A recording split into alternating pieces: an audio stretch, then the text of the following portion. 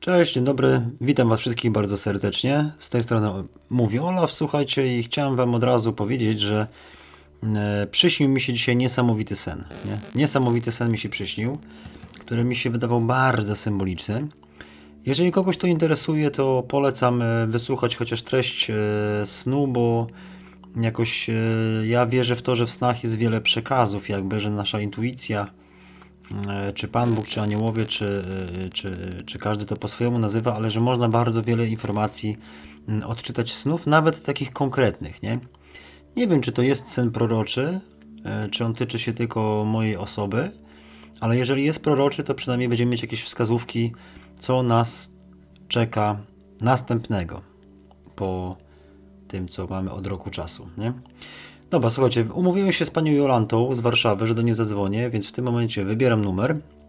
Ona została e, uprzedzona przeze mnie, że ja zadzwonię do niej e, i opowiem jej sen. Dlatego dzwonimy do pani Jolanty. Miejmy tylko nadzieję, że odbierze, nie? Kurczę, bo się umawiałem i ten. No i mam też nadzieję, że dobrze słychać. Zobaczymy. To już. O, dobra, jesteś, cześć, witam. dobra. So, ja powiedziałem widzom, że ten, że y, będzie sen y, i że zadzwonimy do pani Jolanty i że y, uprzedziłem cię, tak?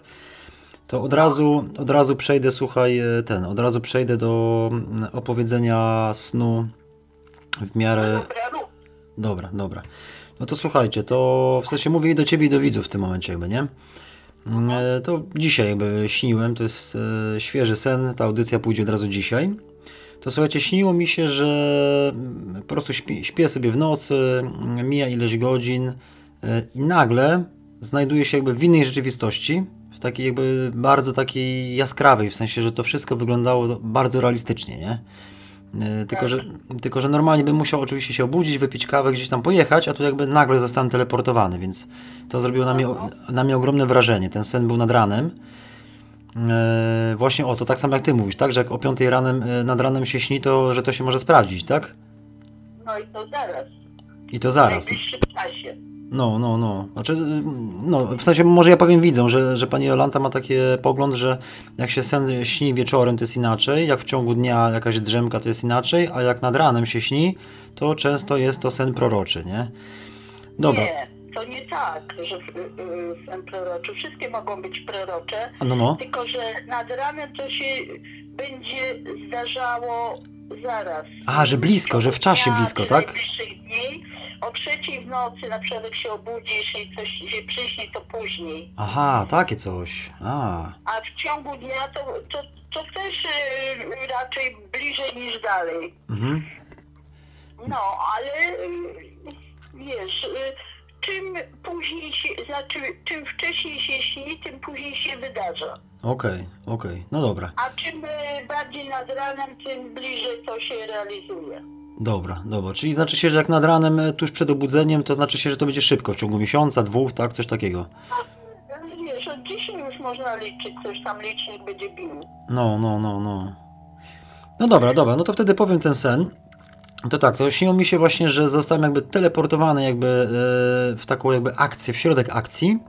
I akcja polegała na tym, że byłem blisko szpitala wojewódzkiego w Gdańsku e, i szukałem, e, zmierzałem do tego szpitala i ze mną też jakiś inny młody chłopak tam, e, czy młody mężczyzna powiedzmy, e, tam 35-45 lat w tym wieku, e, jakby i ja i on szukaliśmy pani lekarki e, i e, weszliśmy do tego szpitala i ja pamiętam, że ja tą lekarkę poznałem dwa tygodnie wcześniej.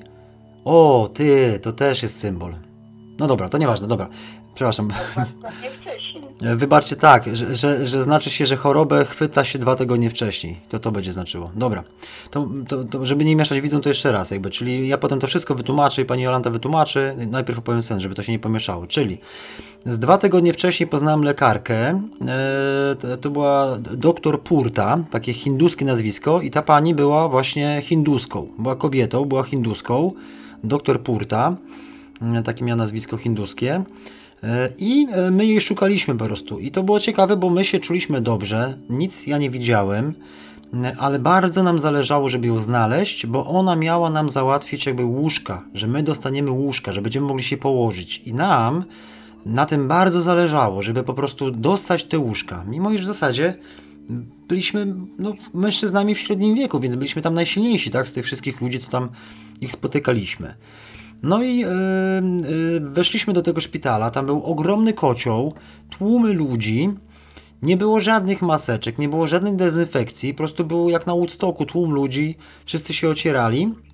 Ale to nie znaczy się, że e, ten, że, e, że nie wiem, że to był Armagedon, tylko po prostu to nie było potrzebne. Czyli ta następna rzecz, która będzie, ja tak sobie to tłumaczyłem, to że może być takie coś, że te maski nic nie dadzą, tak, ani dezynfekcja, że tu chodzi o coś innego. Że to będzie jakaś choroba, czy, czy jakieś schorzenie, czy coś się wydarzy, ale to będzie innego rodzaju. I teraz, ja przechadzałem się tymi korytarzami. Wszędzie na holach, w korytarzach, wszędzie leżeli ludzie. E, Ci, co nie, e, e, albo siedzieli, albo leżeli na karimatach, albo leżeli na łóżkach, tak? My szukaliśmy tej pani Purty, żeby mi- mieć to łóżko i przechodzimy jednym korytarzem, drugim, trzecim. W jakimś dużym holu mijaliśmy grupę tak zwanych ozdrowieńców.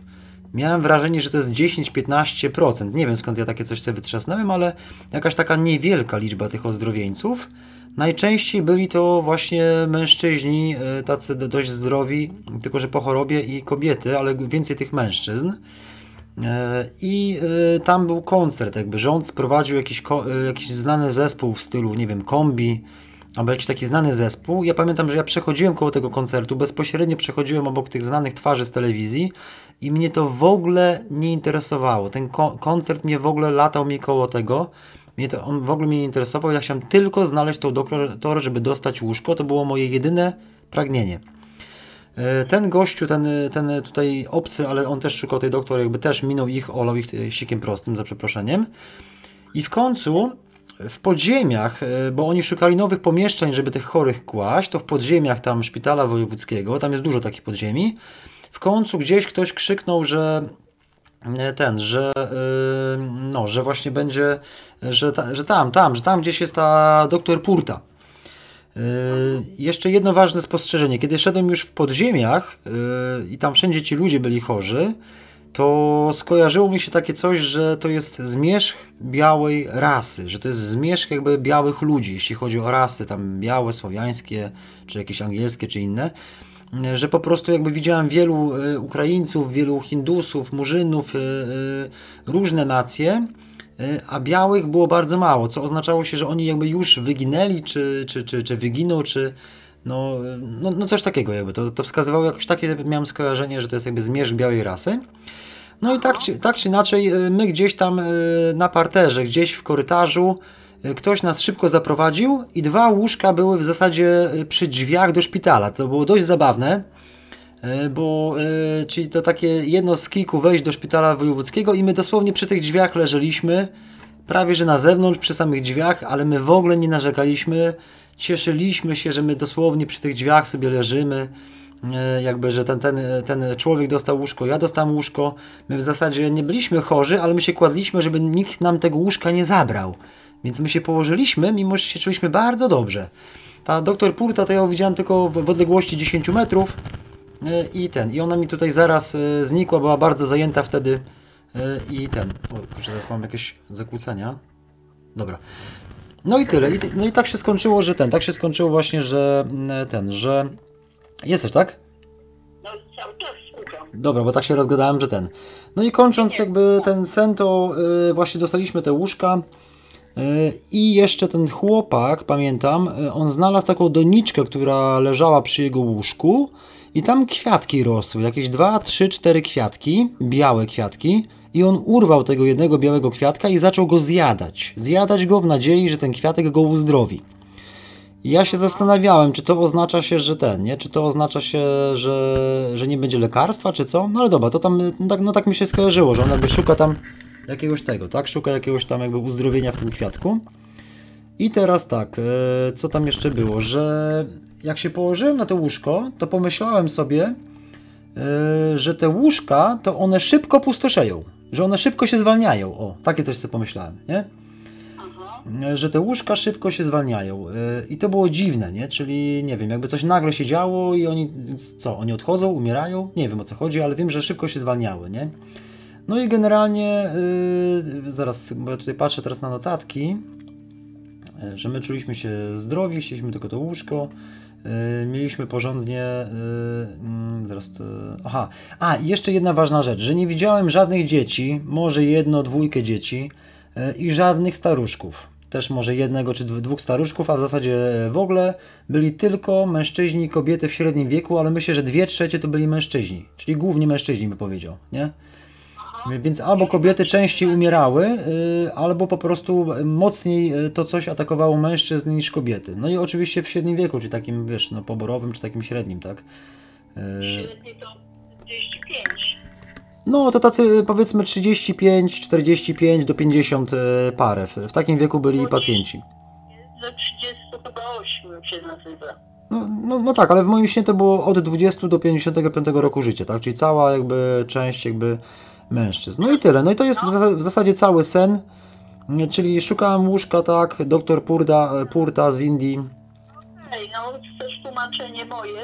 E, tak, to daj swoje tłumaczenie, a ja potem dam swoje, bo jeszcze mi parę rzeczy wpadło, jak ja zacząłem to opowiadać. bardziej związany z tym, co się dzieje, z tymi No, pseudopandemiami i, i, i tymi maskami i tymi koszmarkami. Ja widzę to zupełnie inaczej, od strony duchowej. mhm, mhm. Zwróć uwagę, że było dużo facetów, trzy czwarte. Dwie trzecie, dwie trzecie, no. Szpital to jest być uzdrowionym. No. Być uzdrowionym trzy czwarte facetów. To są ci śpiący rycerze, Mhm, którzy nawet nie wiedzą, że są śpiący. mhm, Oni się mają obudzić w tym szpitalu, mhm. e, bo szpital to jest no, doprowadzenie nas do jakiejś tam równowagi, harmonii w nas, ciało, dusza i tak dalej, nie? No, no, I teraz e, wy, wy dwaj te łóżka chcecie, te dwa łóżka. no, E, Wy bardziej jesteście obudzeni, to No. chcecie szybko wyzdrowieć, jakby na zapas te łóżka se szykujecie. Bo wy wiecie, że trzeba się obudzić i w zasadzie już jesteście obudzeni. mhm, mhm. Ale jeszcze jakby dużo rzeczy przed wami. Eee, ta pani z Indii No, to jest nasza boska matka, podświadomość, trzeba to wszystko oczyścić, wyleczyć. Te dzikie tłumy ludzi, co tam zalegają chorzy, no, to są ci nieobudzeni jeszcze. No, no, no. I, ale sam fakt, że szybko pustoszeje e, ten szpital, to znaczy, że obudzili się, wyszli już. Znaczy nie, tam był cały czas dopływ nowych pacjentów, tylko że e, też te łóżka szybko się zwalniały, czyli jakby taka choroba błyskawicznie No, przechodziła. a to przepływ tych ludzi, co się budzą. Tak. Bo teraz ludzie się budzą, są tego skoki kwantowe w świadomości, bo świadomość najważniejsza. A propos kwiatka. Kwiatek jest y, y, symbolem, ale nie tylko symbolem. Naprawdę jest duchową częścią rośliny. Mhm. Kwiaty są białe, czyli czystość, No, e, i do zjedzenia, czyli ta duchowość kwiatka łączy się z waszą duchowością. Po prostu leczy waszą, e, e, wasze dusze, żeby były czyściutkie, śliczniutkie.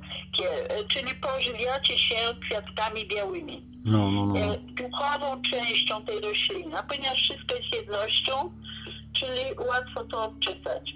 No, no, no. Pomijam, że kwiatki się je, niektóre. No ale tu były białe, więc yy, wskazówka jest jasna. Dla mnie to jest dotyczy nie tych tam chorób, tego wszystkiego, tylko to, że ludzkość jest chora. No tak, Szpital, tak. Nie? Ozdrowieńców, y, czy tam duża, e, duży przemiał tej ludzkości, to są ludzie. Teraz a propos już te e, końca rasy białej. Generalnie idzie w tym kierunku, to już dawno, dawno to wyczytałam gdzieś tam, Mhm. że e, teraz zbliża się rasa, będzie taka nazwijmy się lekko brązowa. Ja tak sobie pomyślałam, że ci biali stary chcą się e, opalać, to już nie muszą. No, no. A ci czarni nie akceptują czerni, no to będą jaśniejsi Mhm. e, i skóry może będą zdrowsze. Także generalnie mamy być wszyscy tacy lekko opaleni, nazwijmy to. No, no, no. nawet mi się podoba.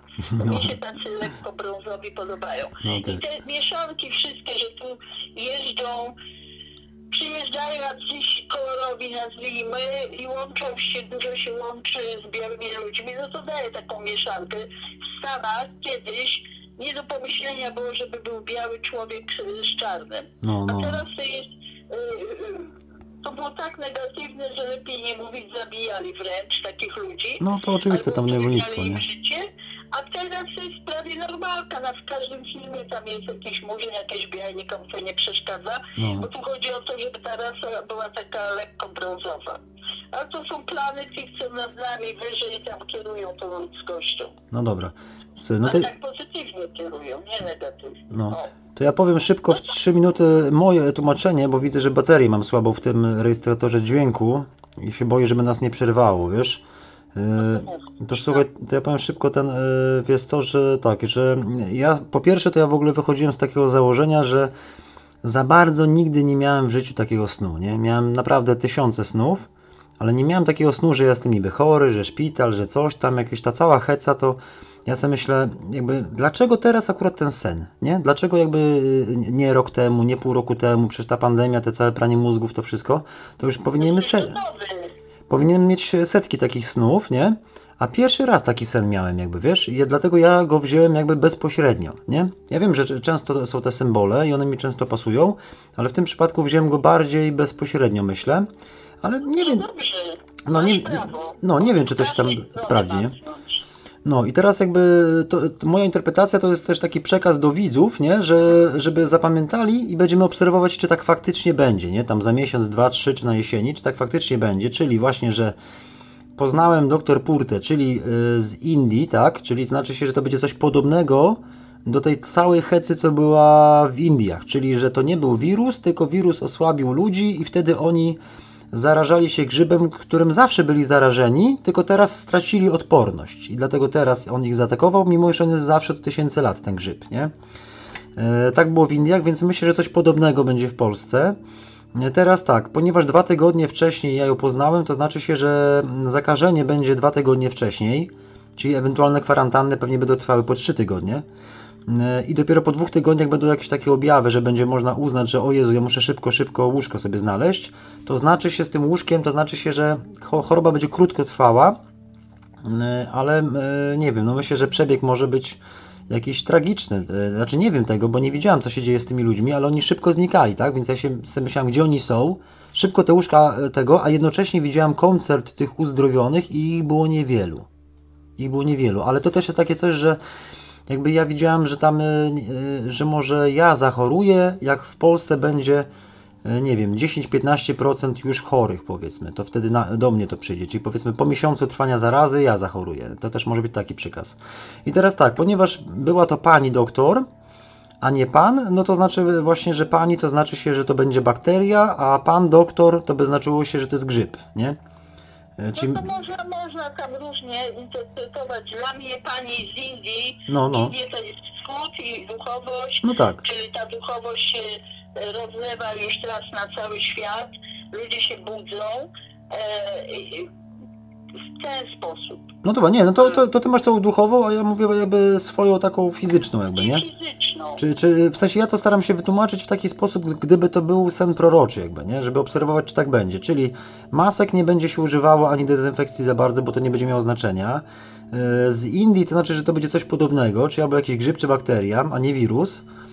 Aha. Zakażenie będzie yy, po dwóch tygodniach będą widoczne objawy, czyli yy, ewentualne kwarantanny będą dłuższe, trzytygodniowe, a nie dwutygodniowe, bo jak objawy nam wychodzą po dwóch tygodniach, to znaczy się, że kwarantanny będą dłuższe niż, niż teraz, jest 10 dni, tak? Bo objawy wychodzą po 5-7 dniach. Czyli tu będzie dłu- dłuższe będą objawy. Następnie tak, po, po, było i znikało i przychodzili następni. tak, więc albo będą szybko zdrowieć, albo będą odchodzić z tego świata. E, Ale to z, zostawmy. E, Teraz tak, e, bo, bo, bo my po prostu wiemy, że to życie jest wieczne, więc jakby ten, co ma odejść, tak musi odejść, tak? To jest jakby po prostu tak jest, tak? Czy tam karma, czy nie karma, czy... No. Dokładnie. I teraz tak, e, e, w sensie, no teraz tak, e, to jest co powiedziałem, że dwa tygodnie, e, brak maseczek, e, ten, że bakteria, tak, bo pani doktor to bakteria.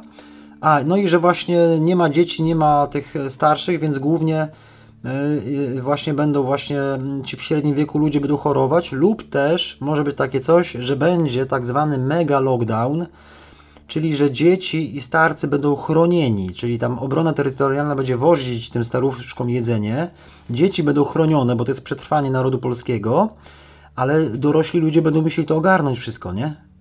Więc jakby... No do- ja to od 25, jak mówisz, do 50 coś, tak? Tak, tak, więc ci dorośli będą musieli tam, nie wiem, będą musieli, ta, ta policja będzie musiała to ogarniać, straż pożarna, obrona terytorialna, to przecież to ludzie w średnim wieku, więc może to też takie coś być, tak, że ten, nie?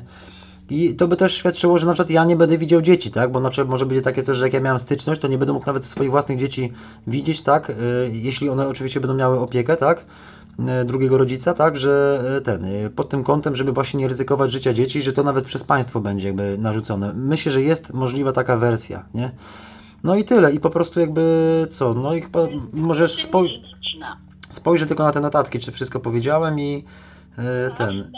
Twoja wersja jest pesymistyczna, moja optymistyczna. No tak, tak. I jeszcze jest takie coś, że z tym kwiatkiem e, to myślę, że może być takie coś, że e, ten, że po prostu e, jakby mi się skojarzyło, że ten, że leku nie będzie, tak? Bo na covid jest lek, tak? To, to, to chyba ludzie wiedzą, tak? Że jest dużo lekarstw na covid a tutaj leku nie będzie. A ewentualny lek może być e, jakby. Może być roślinka, czyli mo- jakiś rumianek. Może być w roślinach, ale druga rzecz, która mi się skojarzyła, to taka, e, że kiedyś miałem sen, że będą trzy igiełki, nie? To znaczy, że będą trzy strzały, że będą trzy szczepionki, tak?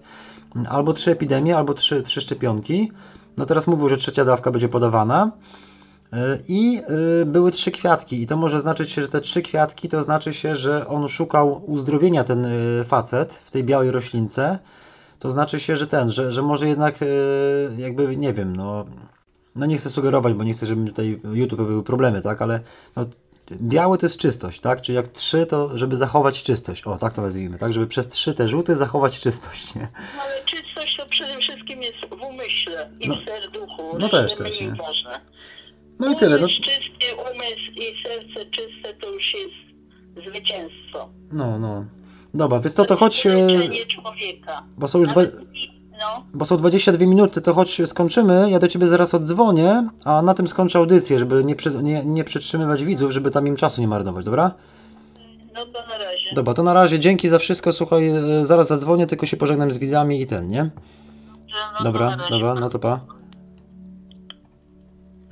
Dobra, no więc tak, słyszeliście, yy, pani Jolanta przedstawiła swoją taką duchową interpretację yy, tego snu. Yy, ja przedstawiłem swoją. W sensie uznałem, że bardzo dużo różnych informacji jest zawartych właśnie w tym śnie. Jeżeli jest to sen proroczy, właśnie to, to tak się odczytuje właśnie, takie sny prorocze, nie? E, czyli właśnie to doktor Purta, czyli z Indii, tak, tylko nie lekarz, e, czyli nie grzyb, tylko lekarka, czyli będzie jakaś bakteria, bo to jest taki rodzaj żeński. E, No i grupa zachorowań, szybki przebieg choroby, wcześniej nic nie będzie zapowiadało. I jeszcze dodam tylko Wam na koniec, że myślę, że będzie, e, że jeżeli takie coś by było, to faktycznie byłby ten mega lockdown, o którym mówił Jasnowic. Faktycznie byłoby, że dopiero w 2021 roku świat stanie. No i że to będzie kwestia miesięcy, nie? No ale to chyba każdy wie, że miesięcy, jeżeli już, nie? Oczywiście trzeba się modlić, żeby to, nie było czegoś takiego. Wtedy też e, oczywiście spełni się ta wizja, że ci ludzie będą się modlić na zewnątrz, jakby tak, żeby się nie zarażać. Mm, Chociaż nie wiadomo, czy nie będą się zarażać, nie? Bo jak w tym szpitalu wszyscy się ocierali. No chyba, że tam trafiali tylko zarażeni, no nie wiem. Może jakiś test będzie, czy coś, no nie wiem. Dobra, dzięki za uwagę, słuchajcie, nie chcę rozgadywać, jak zwykle to troszkę chaotycznie wyszło. Ja staram się tak szybciej mówić, żeby wam to szybciej streścić, bo wiedziałem, że to trochę czasu zajmie. Eee, I ten, no mam nadzieję, że ten, nie, mam nadzieję, że jakoś to e, wysłuchaliście, nie wiem, jeśli chcecie, jeśli możecie, to napiszcie mi właśnie, że mm, jakie rady byście mi dali, żeby mówić, jakby, czyli żebym co, wolniej mówił, tak, spokojniej, bo jak ja mówię, to ja tak e, wtedy wchodzę w to wszystko, tak przeżywam i tak mówię szybko i e, emocjonalnie jakby, nie? Zbyt emocjonalnie właśnie, jak tam e, kiedyś mój przyjaciel mówił. E, I ten, e, no pewnie każdy ma inne zapatrywania jakby, nie? Ale jeśli chcecie, to, napi- to napiszcie, jaką byście dali radę. Czy mam po prostu mówić, jak mówię i tyle, nie? Dobra, dzięki, słuchajcie, dzięki za uwagę. E, Napiszcie coś w komentarzu. Ja to nagrywam około godziny 12. E, A, jest teraz 12.43. Jest mega upał i mm, ten. I lecę z dzieciakami e, nad jezioro. Dziękuję Wam za uwagę, trzymajcie się. E, Wielkie dzięki serdeczne, że słuchacie.